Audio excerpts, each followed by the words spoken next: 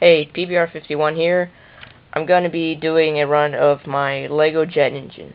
But before I do that, there's been a little bit of confusion of which engines I have and what they're called. So I'm just going to quickly show you the four engines I have and what I call them. So we'll start out with this one.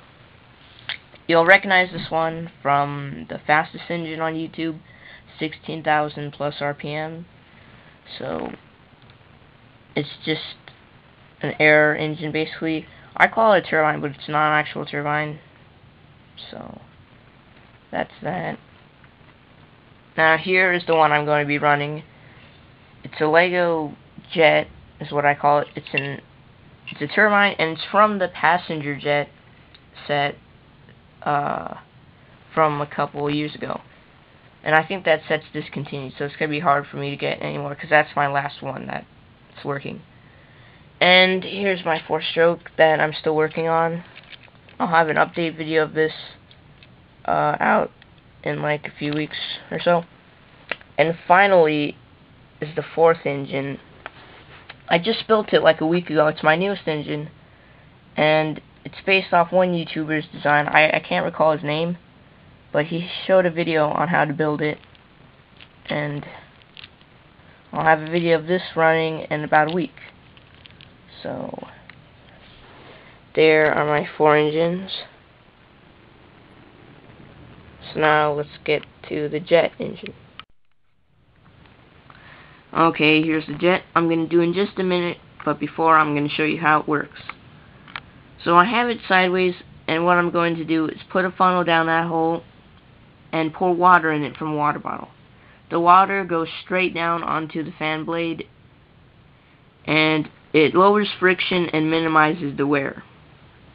And also the water mystifies and comes out the back and it looks like exhaust smoke, which is pretty cool. So I'm going to get the air compressor nozzle and hold it right here in front of it and that's going to cause the fan blade to spin really fast. Probably about 30,000 RPM. But I have no way to measure it because I can't connect it to the tachometer. So I'm just judging by sound it's probably the fastest one that I have. So that'll be pretty cool. Um, so before I do it, please check out my website. I have a whole page dedicated to these LEGO engines. Uh, I have lots of pictures of this specific one, uh, tips on how to run it in case you have one, pictures of the kind of wear that it gets. Uh, so, yeah, let's go.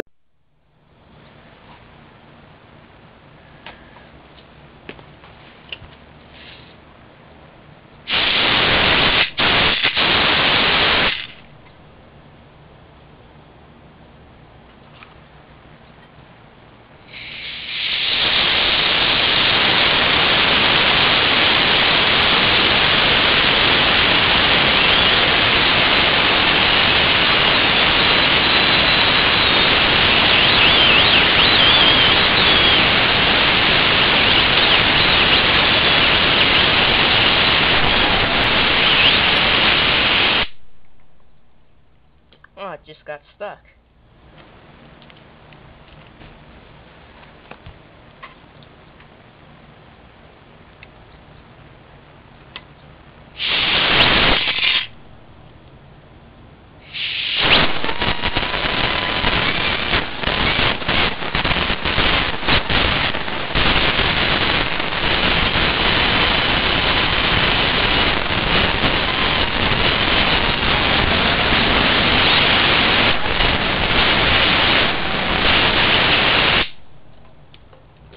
It just got stuck.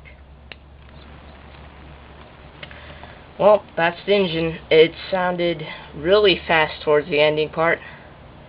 So, that was probably definitely 30,000 RPM.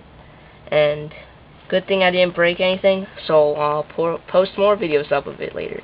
So, check out my website. Tell me what you think about it.